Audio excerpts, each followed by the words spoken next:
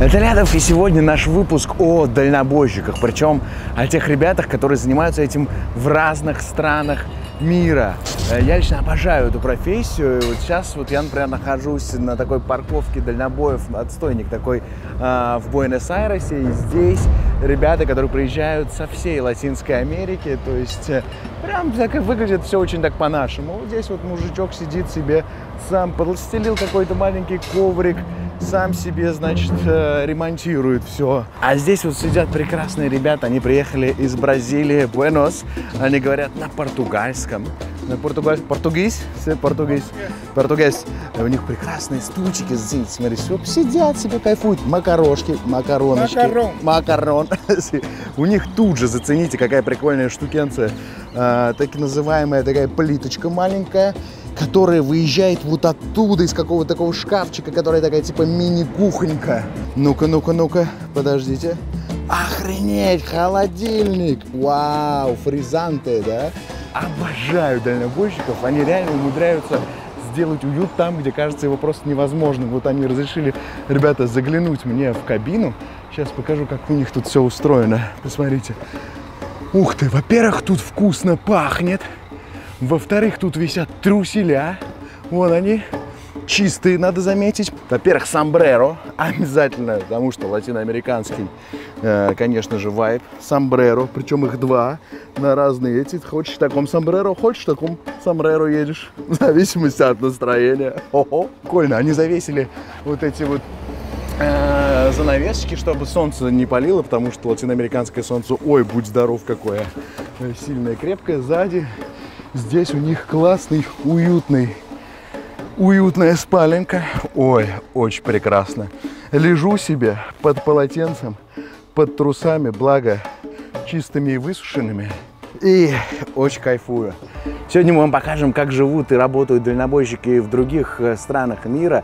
Саша Сабынина снимала дальнобойщиков э, в России, также мы снимали дальнобойщиков в Европе, в Америке. По-моему, очень интересная работа. До сих пор у меня какой-то прям любовь к ним. Ну, мы с тобой разговаривали, да. Сколько, сколько ты проехал вот за это? 145 километр был. Вот э, точно заречье знак закончился, я там встал. Да просто заново очень...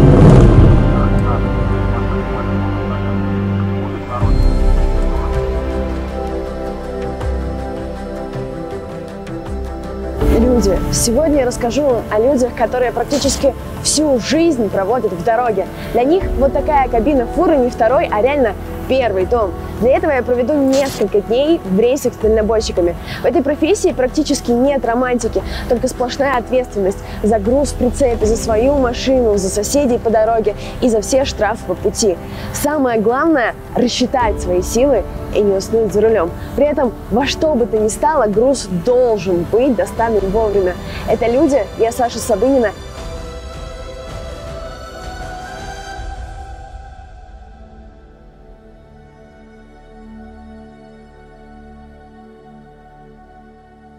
Для этих ребят машина не просто способ передвижения, возможно заработать, прокормить семью, поэтому они относятся к ней как к верному помощнику, одновременно как к дому на колесах. Вообще отношение к машине у них очень теплое и эмоциональное. Ведь и мы, те, кто не проводит за рулем сутки напролет, тоже часто воспринимаем свою машину не как транспорт, а как своего товарища. Но есть момент, когда эмоции нужно оставить в стороне. Это, конечно же, момент покупки автомобиля. В этот момент надо прям э, концентрироваться на фактах. И именно для этой цели я уже не в первый раз рекомендую вам сервис Автотек.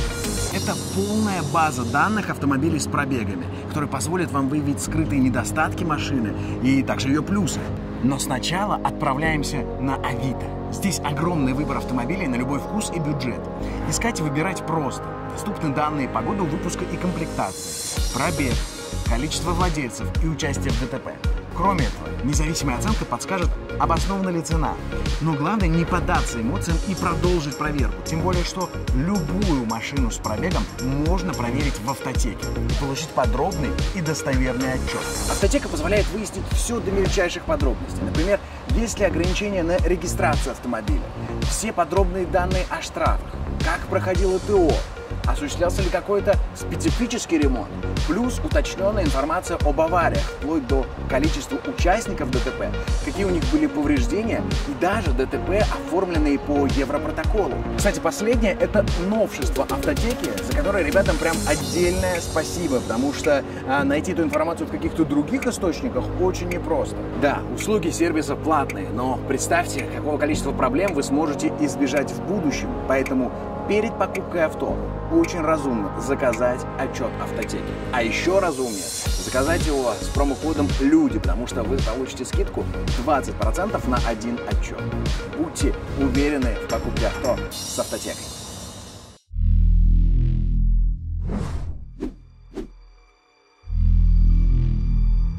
По образованию Лена повар. Она никогда не планировала садиться за руль фуры.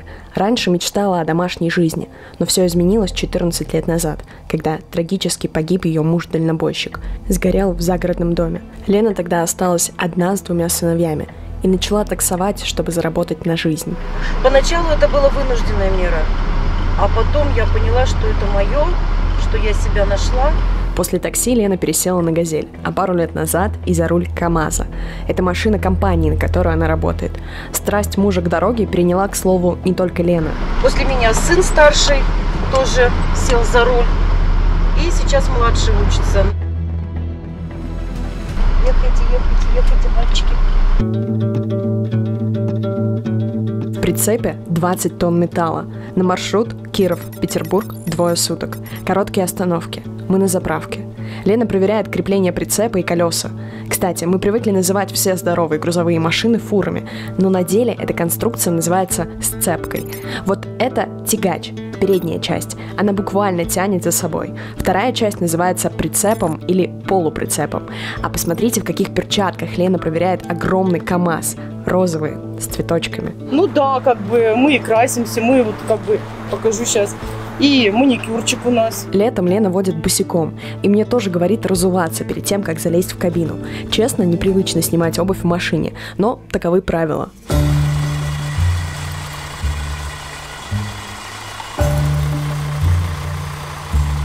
Ну, как говорит моя мама, ты где? Я говорю, дома. Она говорит, я знаю, где ты дома, ты мне скажи, в каком городе.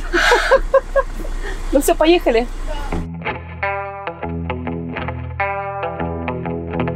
Это кабины, как обжитая квартира.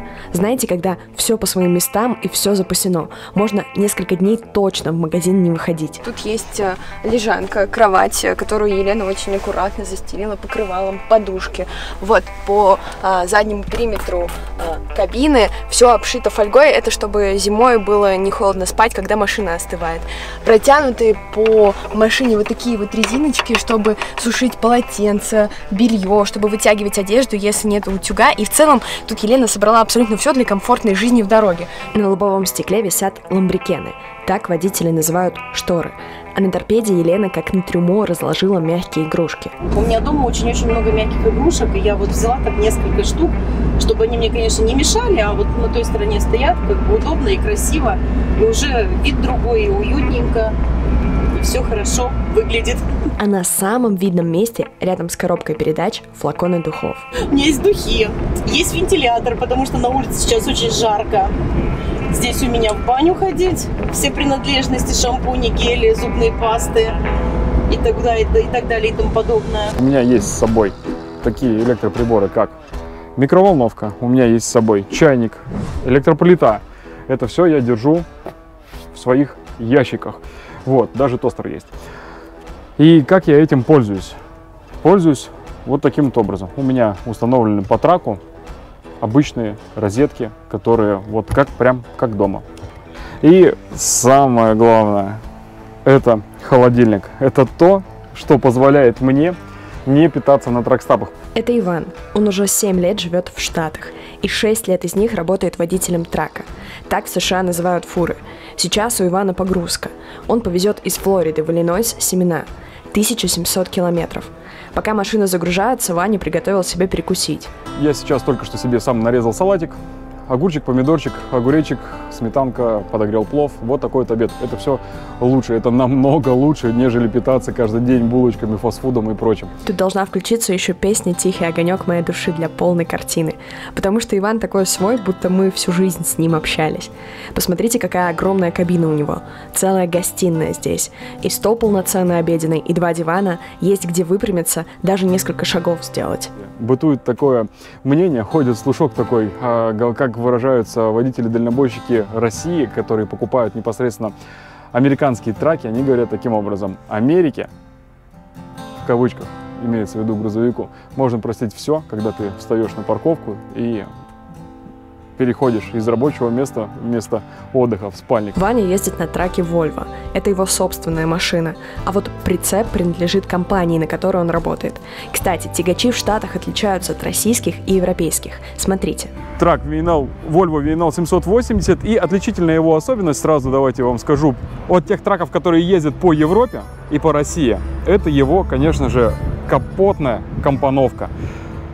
Дело в том, что европейские грузовики, они выглядят вот ровным счетом вот так, то есть как бы капота у них нет. Двигатель стоит под кабиной, а здесь двигатель стоит впереди, что, собственно, добавляет 2 метра жизни. Водители, дальнобойщики понимают, о чем я говорю. Спустя несколько часов погрузка заканчивается. Иван включает рефрижератор, ну то есть холодильник, чтобы семена не испортились, и выезжает на трассу в ночь. Трейлер работает, получается, горит зеленый индикатор, это значит, что рифер работает исправно. Если вдруг что-то будет с ним не так, вместо зеленой лампочки загорится оранжевая.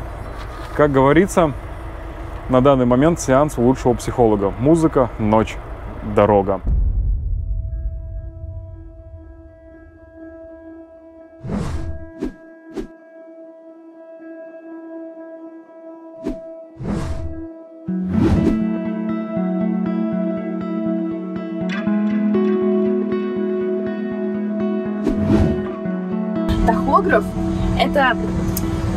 Своеобразный а, черный ящик дальнобойщика, своеобразный бортовой компьютер. Он записывает, сколько а, километров дальнобойщик прошел, сколько часов работал двигатель и сколько часов он не работал. Это нужно для того, чтобы а, полицейские и дорожные службы контролировали режим труда и отдыха дальнобойщика.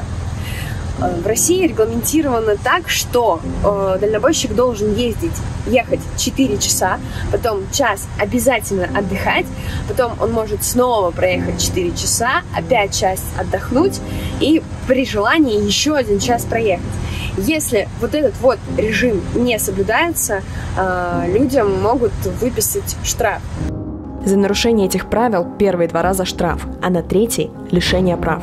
Эта система нужна, чтобы дальнобойщики не засыпали за рулем. Лена старается нормы соблюдать, потому что один раз она засыпала за рулем. Хорошо, что тогда вела легковушку, а не фуру. Я даже не знаю, как я заснула. Я просто, я проснулась от того, что я по обочине, а там гравий, меня начало трясти. И я проснулась. Вот, и с той поры я прям вот табу по ночам спать. Никаких поездок. Если даже я в ночь выехала, если я чувствую, что все, я сплю, я ищу стоянку, я ложусь спать. Самое опасное то, что во сне водитель продолжает видеть дорогу и не чувствует границ реальности. Потому что заснуть это две минуты. Там ты даже не почувствуешь, что ты уснула. Потому что вот ты едешь, тебе видишь картину, что ты едешь, и все. Тебе снится сон, что ты едешь. С режимом труда и отдыха, друзья, здесь все очень строго. В Европе с этим борются, штрафы очень большие за нарушение.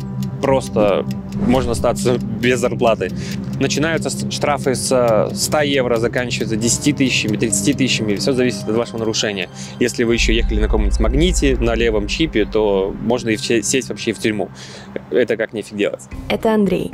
Он работает водителем фуры в Европе уже пятый год. Наматывает километры в основном по Центральной Европе. Франции, Германии, Бельгии, Австрии. Сам Андрей из Беларуси. Каждый раз выезжает на работу за границу как бы. Андрей перевозит автомобили. Друзья, я загружен 7 BMW, и нужно ехать уже в сторону выгрузки. Нам остается буквально 300 километров до выгрузки. В порт 13.33 едем в Бельгию. Звучит, согласитесь, круто. 7 BMW. Но на деле это просто большая ответственность. Ведь Андрей, как водитель, отвечает за каждую машину на прицепе. Буквально за каждую царапину. За каждый косяк вы отвечаете своим рублем, как говорится, потому что никто за вас платить за ущерб, который вы сами нанесли, не будет. Да, есть франшиза, есть страховка. Понятно, если стоимость ущерба составляет, например, тысяча, две, три тысячи, то с вас удержит, там, ну, допустим, как в нашей компании, максимум могут удержать с вас 500 евро. Ну и плюс еще там пополам делят э, на несколько периодов, то есть сразу вас, вас не вытянут. Максимум за раз можно перевести 10 машин. Перемещается Андрей на таком тягаче. Тягач Mercedes Давайте пройдемся, покажем вам поближе. А, вмещает автовоз в себя максимум 10 машин, то есть есть 10 мест для поставки машин, а, по 5 машин на прицепе и на тягаче. Обычно Андрей работает по 4 недели. Уезжает из дома в Беларуси на целый месяц. При этом по европейскому законодательству у него предусмотрены выходные. Еще одно из преимуществ работы в Европе, то, что вы работаете 5 либо 6 дней в неделю. У вас есть стабильные выходные, то есть это суббота, воскресенье выходной, либо воскресенье выходной.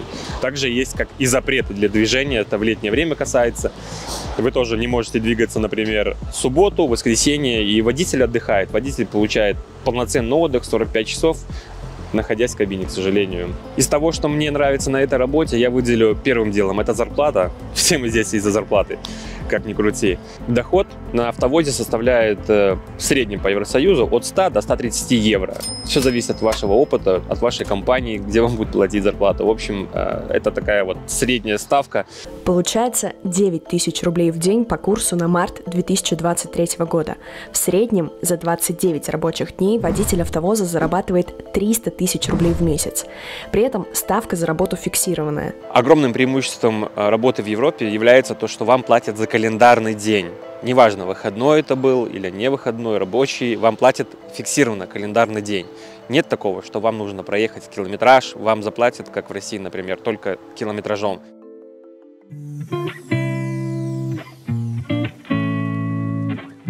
Прошлом году на долю автоперевозчиков выпали очень серьезные испытания, потому что даже тем, кто на рынке уже давно, пришлось начинать работу буквально с нуля, искать новые направления, перестраивать маршруты, нести огромные дополнительные расходы.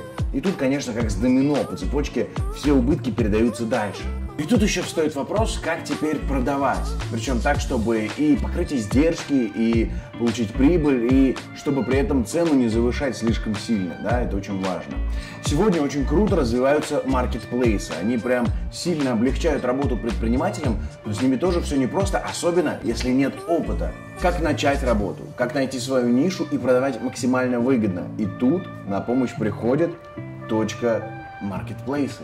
Точка маркетплейсы – это система сервисов, которая отлично подойдет как начинающим продавцам, так и тем, у кого уже есть опыт, но хочется увеличить долю своего присутствия. Сервис включает в себя необходимый набор инструментов для запуска, масштабирования и управлениями продажами на популярных маркетплейсах – Озон, Wildberries, Яндекс.Маркет, Авито. Точка маркетплейса поможет создать свою торговую площадку и запустить ее на одном или сразу нескольких маркетплейсах. Поможет обрабатывать заказы, управлять остатками, собирать всю необходимую аналитику. И все это в едином интерфейсе. Кстати, получить пробный доступ к сервисам аналитики на 5 дней вы сможете даже без открытия счета. Так будет легче попробовать его в действии и принять решение о покупке. А чтобы разобраться было еще проще, Точка предлагает для начала пройти свой бесплатный курс. Это 6 уроков, где вас ждет масса полезной информации, причем не только о том, как работают маркетплейсы, но и в принципе о том, как выстраивать весь процесс продаж, начиная с подбора товаров, включая закупку, логистику и так далее. Ссылку на курс и точку маркетплейсы оставляю в описании. Маркетплейсов много, кабинет один. Работа дальнобойщика – это своеобразный буфер. Сложная, но прибыльная. Кирилл работает водителем фуры в Штатах. Сам он из Казахстана, учился в Новосибирске, а пару лет назад перебрался в Америку и сразу же начал работать водителем. Я работаю месяц в дороге, неделю я нахожусь дома.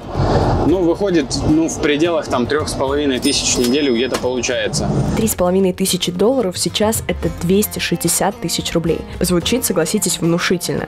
Средняя зарплата в Штатах на 2022 год 218 тысяч рублей в месяц. А тут эта же сумма за неделю. Это работа, не требующая вообще никаких, никакого образования. Почему много наших соотечественников здесь? Просто потому, что ты получил драйвер, э, получил права драйвер лайсенс обычные на легковую машину, то есть ты можешь ее там за день получить, за два. И там через 2-3 недели ты уже можешь пойти на грузовые права учиться. Тебе не нужен стаж вождения, год, два, три.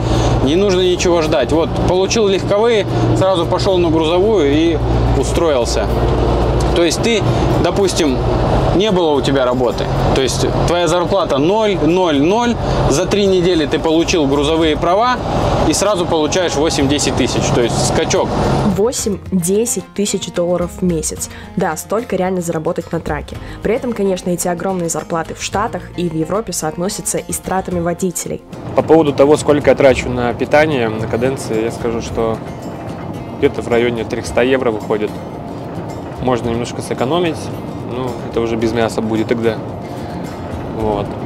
Воду приходится покупать, потому что так на заправках набрать воду питьевую не выходит. Кроме, конечно, как в Австрии в Швейцарии. Там самая чистая вода.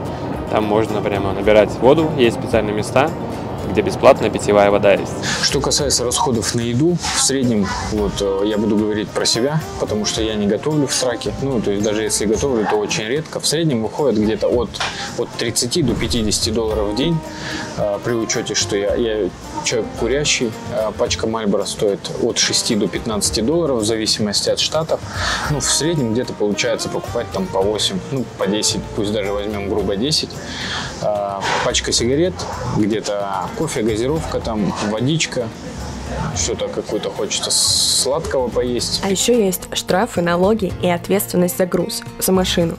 В каждой стране они разные, но одинаково для всех водителей неприятные. Если тебя с перевесом на грузовой станции, как бы на весовой остановят, могут вообще тебе э, поставить на стоянку до того момента, пока тебе не разгрузят. За то, что люди крутят тахограф, лукбук, за это вообще в некоторых штатах может, ну, могут посадить в тюрьму. То есть инспектор, когда тебя останавливает, он подключается к твоему лукбуку, отправляет к себе всю информацию. То есть они могут всегда посмотреть, сверить твои накладные, экспедиторские вот эти, где ты был, где ты не был, все в журнале сверить. Если поймут, что ты скрутил, могут в тюрьму посадить. А так, ну, за превышение, я думаю, что здесь штрафы начинаются от 100 долларов и выше. Э, За превышение там на 10-15 миль вообще тоже в некоторых штатах можно в тюрьму, могут в тюрьму посадить. Там на 20, на 30 миль.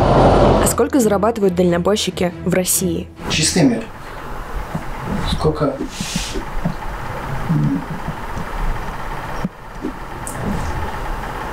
Где-то 115. Это вот хороший месяц, хороший доход, и это много работы? 115? Это в месяц ну, 20 тысяч пробега километров. 20 тысяч километров пробега в месяц – это по 660 с лишним километров в день. То есть каждый день в дороге нужно провести минимум 7,5 часов, если ты едешь со скоростью 90 километров в час. Средняя зарплата сейчас по всей России 66,5 тысяч рублей. И зарплата дальнобойщика почти в два раза выше. Но и работать для этого нужно действительно много. Водителям платят за пройденный километраж. В дороге. В дороге месяц, 30 календарных. То есть 30 дней э, дня дома. Ну да. Блин, сурово. Вот. А так вот в среднем, в среднем где-то ну, тысяч 80. Это вот как раз, э, вот я, получается, получил 79 тысяч, да, за крайний месяц. А пробега у меня было 10 тысяч. Это Лёша, сын Лены. Ради него 14 лет назад Лена начала работать водителем. Лёша уже пятый год работает дальнобойщиком. С самого детства он уезжал с папой в рейсы и другой профессии для себя никогда не рассматривал. Сейчас он дома, как раз готовится к выезду. Получается, э, прицеп неплохой, только эти бока не натянуты почему-то. Почему бока не натянуты? Да, я когда знаю, резина там по углам тертая немного на прицепе. Вот, а так вроде неплохой, но я ворота не открывал, ничего не смотрел. Так, резина совсем плохая.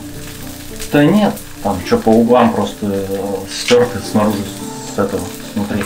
Может километров 150. А так не знаю. Дальше в дороге узнаем, что там. Пока пару, пару тысяч не проедешь, не узнаешь, хороший он или нет.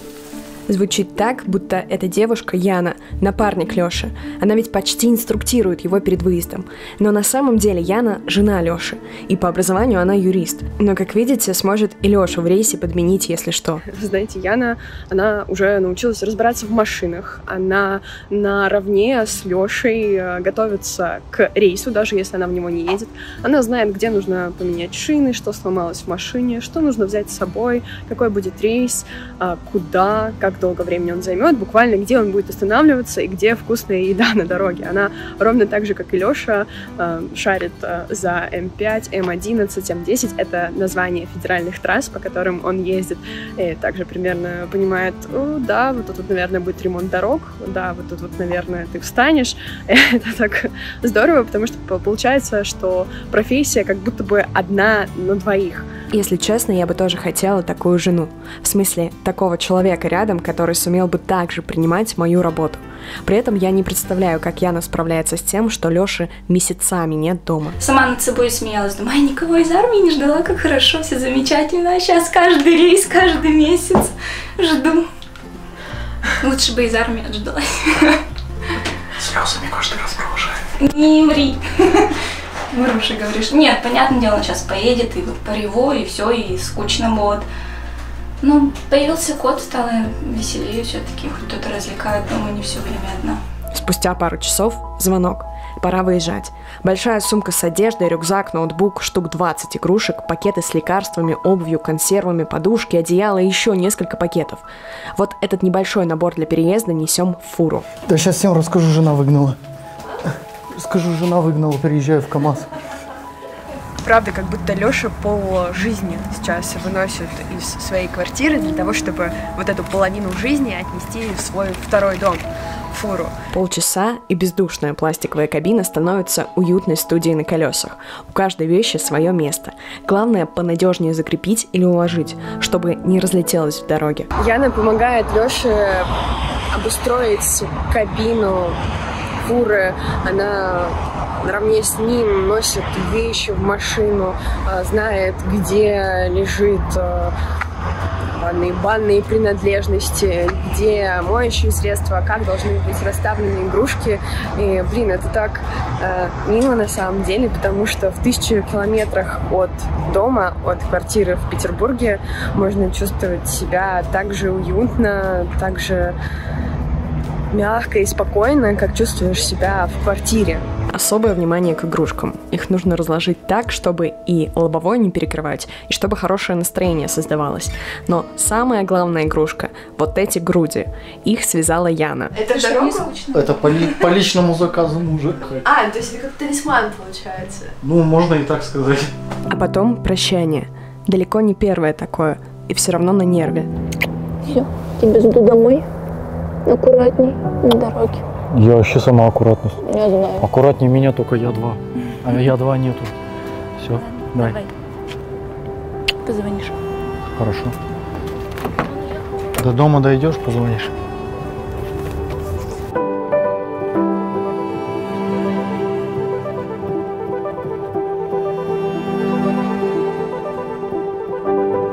За окном темно и как-то промозгло. Молча едем на погрузку. Как-то немного неловко быть свидетелем прощания. Леша привыкает к машине после отпуска и почему-то чаще смотрит по сторонам, чем вперед. Вот едем и никому не мешаем, да, сейчас какой-нибудь неадекватный пьяный, да, выскочит, начнет к тебе прижиматься. Если он ко мне под прицеп прижмется, я же его снесу просто насмерть. Я вот перееду просто прицепом и все. Время свое потеряю, да, может не виноват, но вот эти разбирательства, гаишников ждать нет, не нужно. Именно я считаю, что мой стиль вождения помогает, что у меня, грубо говоря, по моей вине ни одного ДТП нет с 2014 года. Эти игрушки на торпеде сильно выбиваются из брутального образа Леши, который из домашнего парня за рулем превращается в серьезного мужика. Бывали даже такие случаи, что останавливает гаишник, вот я документы, распечатку, все приготовил, открываю окно, уже протягиваю. Он такой, дружище, а сколько денег на игрушки потратил? Я говорю, все в автоматы выиграл. Он такой, да ну нахрен. Я такой, да. Он такой, все, счастливого пути. Я говорю, «А ты что останавливал? Он такой, игрушки, интересно. Я говорю, ни хрена, иди игру работай. Ну, поугорали так. Согласитесь, что игрушки на торпеде КамАЗа правда выглядят захватывающе. Кстати, Леша на иномарку бы пересаживаться не хотел пока. КамАЗ его более чем устраивает. Да, он некомфортный.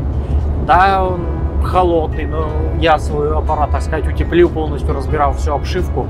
Э, Поломки часто ну, ломаются, ой, ломают, чинится, да, с, с помощью русской, я твою мать, кувалды. Вот.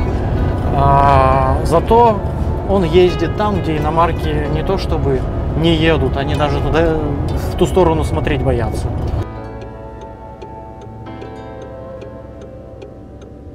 Собственно, к полуночи мы приехали к складу, где машины должны загрузить картоном.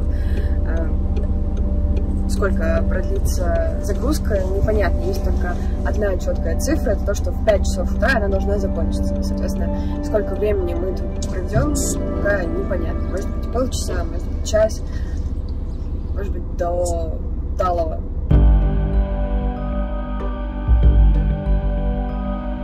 Не раздражает вот это вот ожидание? Нет, привык уже как-то.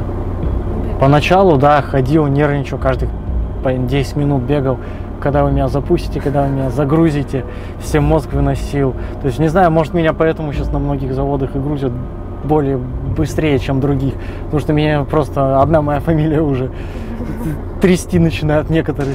Ждем. Сидим в машине и тупо ждем. Это немного выводит из себя. Чувствую себя в вечерней московской пробке, которая никак не заканчивается. Погрузка идет уже второй час, и единственное занятие, которым можно сейчас заниматься, это спать. Дальнобойщика постоянно подгоняют. Если привести груз позже дедлайна, будет штраф от транспортной компании. Поэтому Леша стартует сразу после выгрузки в 4 часа то ли ночи, то ли утра. Собственно, вот так вот выглядят 15 тонн картона, которые сейчас э, грузили в Петербурге 3 часа. И теперь эта фура с картоном поедет в сторону Саратова.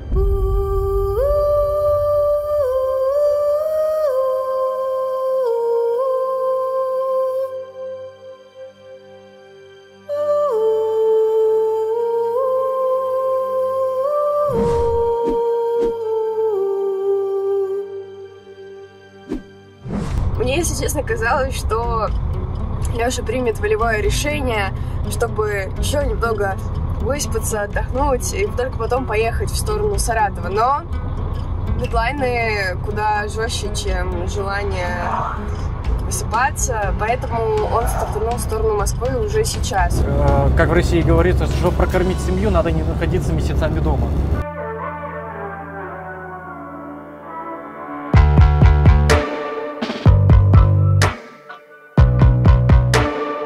Вроде бы села за руль раньше Леши, но наставником в работе стал именно сын. Он не только постоянно звонит маме, но и периодически инструктирует ее. Однажды по пути в Самару у Лены лопнуло переднее колесо. Она на автомате сделала так, как учил ее старший сын. И я слышу, у меня хлопок, и машину повело. Ладно, не было ни, это, ни встречек, ничего. Я схватилась за руль, ну как бы машину удержала, не опрокинула, ничего.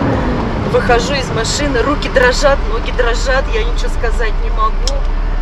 В общем, было так страшно, детям пишу, я говорю, сын, так и так. Он, мам, ты сама как? Я говорю, все хорошо.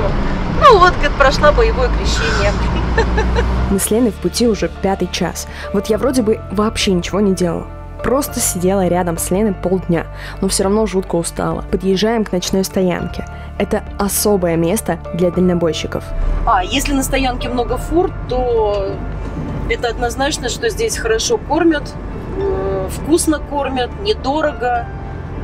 И после такой кафешки ты не побежишь никуда. Вот.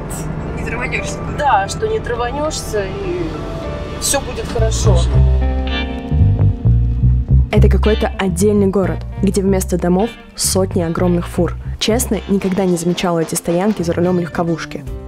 Эта стоянка в личном топе Лены, потому что здесь есть массажные кресла. Must have после целого дня в машине. Мне, если честно, интереснее еда. Комплексный обед на стоянке, куда входит и первое, и второе, и душ, э, и туалет, э, и баня, даже сауна стоит 250 рублей. Еда просто домашняя вкусная. И за 250 рублей, когда целый день ты ехал в дороге, это просто божественно вкусно, потому что в голодухе все будет очень вкусно. Сегодня Лена здесь единственная дальнобойщица. Да, это все еще необычные обстоятельства на российских дорогах. Ну, с одной стороны, жизнь заставляет всех как-то работать. Женщины начинают воплощать свои мечты, садиться за руль так же, как и мужчины. Но я считаю, что женщины вообще-то должны дома и заниматься домашними делами. А когда на дороге встречается женщина? Когда на дороге встречаю женщину-водителя, ну, знаете, как какая-то радость. Радость? Да. Все-таки украшивают эти дорогу. Украшивают, да. Ну и попипикаешь, поприветствуешь. Внимание к Лене реально больше, чем к другим водителям. И не устаете от этого внимания? Честно сказать, устаю. Настолько его много. Его очень много. И устаешь. А как, как, как это выражается? Внимание? Да. Ну, кто-то на чай приглашает, кто-то конфеты приносит, покупает там, допустим, кто-то фрукты тащит, кто-то просто вот давайте поболтаем или давайте познакомимся, можно ли мне ваш номер телефона? И такое бывает. Удивительно, как Елена умудряется сохранить женственность, легкость и позитив, управляя вот такой абсолютно не нежной, здоровой машиной. То есть у Лены всегда свежий маникюр, свежий педикюр, всегда есть духи в машине, шампунь для волос, лак для волос, сменная одежда. Как бы, come on, э, мне в городе иногда лень впадло мыть голову, а тут человек в дороге поддерживает прекрасный внешний вид и абсолютно идеальную гигиену при любых обстоятельствах.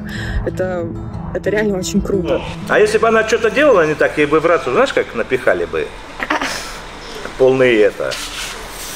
Поняла. И сказали бы пару ласковых. Значит- А раз ей, ей ничего, ничего никто не говорил, значит, она делала все как положено. При этом, когда мужчины-водители услышали, что Лена на механике, выразили почтение. Я же говорю, что сразу задаю минимум орден Ленина.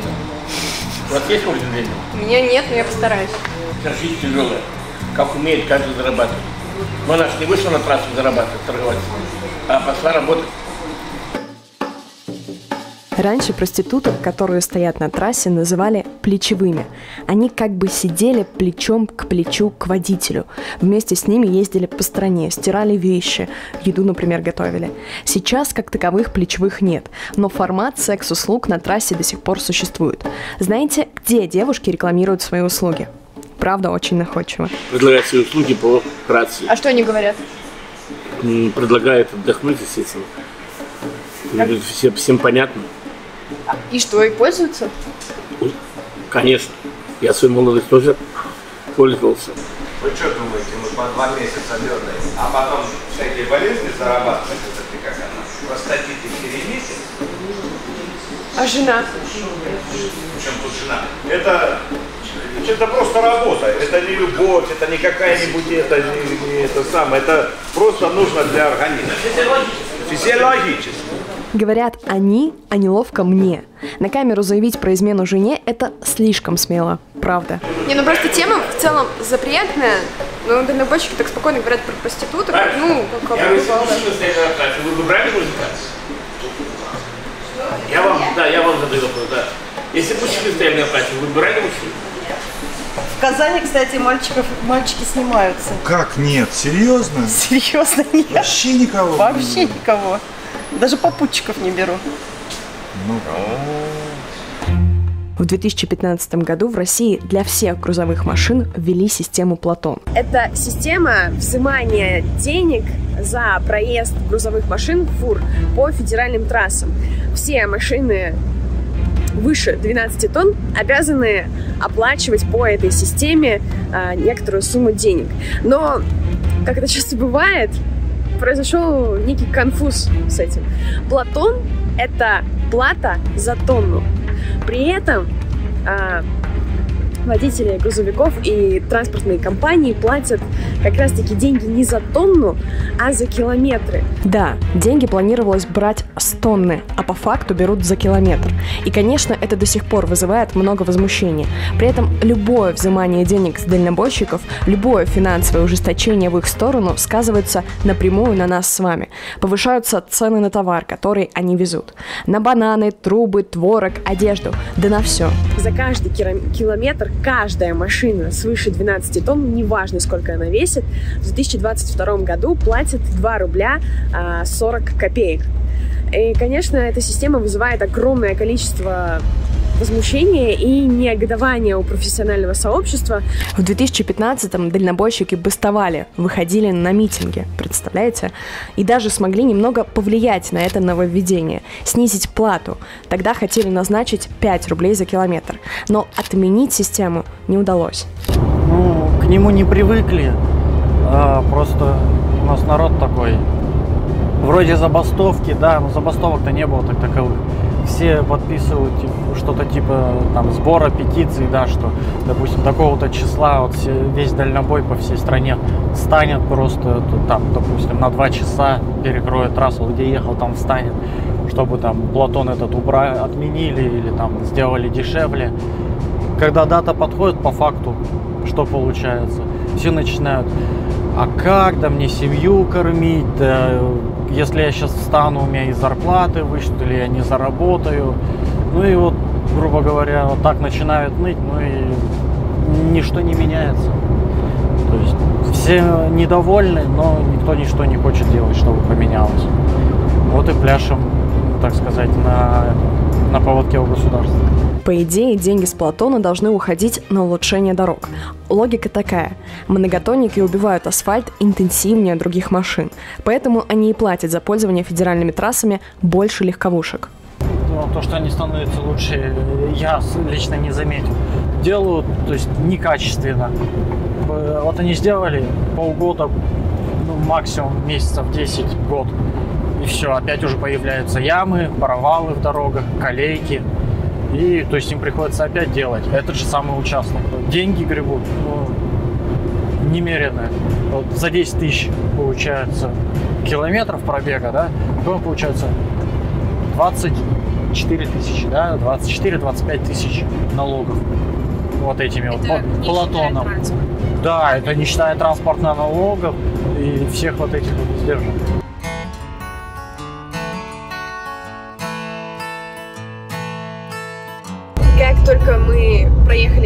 Ленинградскую область и в Новгородскую, по обочинам дорог а, начали появляться предприниматели, которые продают морожку, чернику, грибы, э,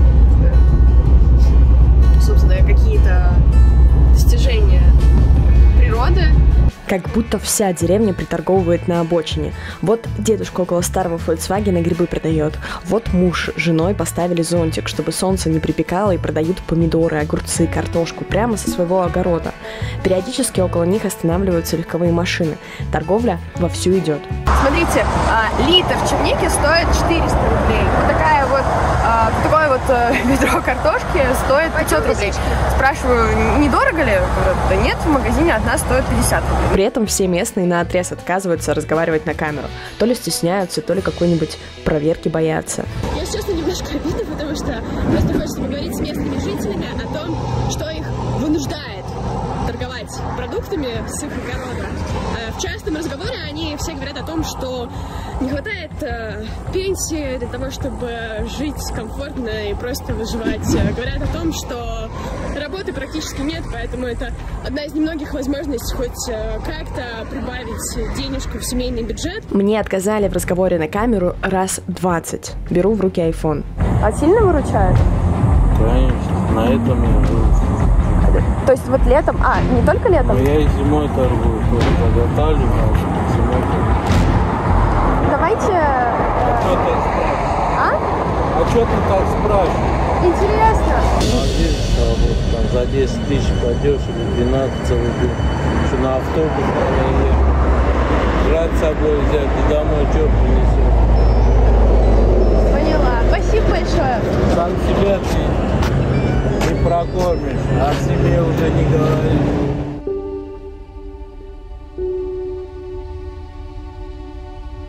Так интересно, вот я лично привыкла мерить дорогу в, во времени. Ну, то есть там, мне два часа ехать, мне час ехать. А Леша оценивает дорогу в километрах. Ты него спрашиваешь, вот там, сколько нам до Рязани осталось? Он говорит, 400 километров. Я говорю, а во времени сколько? Он такой, 400 километров. Э, То есть совершенно другое мироощущение и текущего времени, и текущей жизни. Как бы жизнь идет не в минутах, не в секундах, а буквально в сантиметрах, километрах. Отсюда, наверное, и умение ждать спокойно, не беситься по мелочам, и как-то вот реально принимать эту жизнь. Вот эти вот все марафоны, типа, выдыхаем, понимаем эту жизнь, это все херня. Вот дальнобойщики, они реально приняли то, что происходит. Это было удивительно. Э, Получается, что для дальнобойщика лучше психолог это непосредственно дорога. Ну, то есть ты с ней ты с ней постоянно коммуницируешь. Ты можешь на нее обижаться, это бесполезно. Ты можешь там, на нее орать, ты можешь с ней постоянно выяснять взаимоотношения, но единственное адекватное в этом случае решение полностью брать ответственность на себя за все происходящее и отпускать, принимать.